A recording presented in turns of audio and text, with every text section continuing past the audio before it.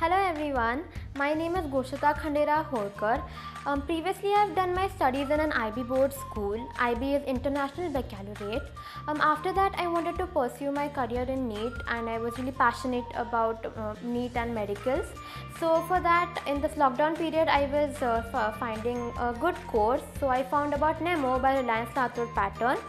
So this app is really amazing and the most important thing here is that I am able to get sessions from national faculty. Um, secondly, the I am able to give test series subject wise. Um, they, there's a doubt clearance and plus I am able to give conference with uh, the I can have conference with the teachers.